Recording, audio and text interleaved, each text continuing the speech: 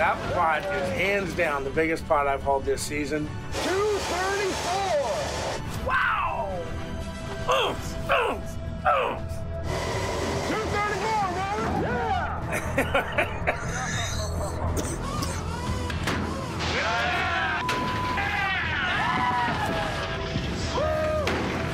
Fishing's great.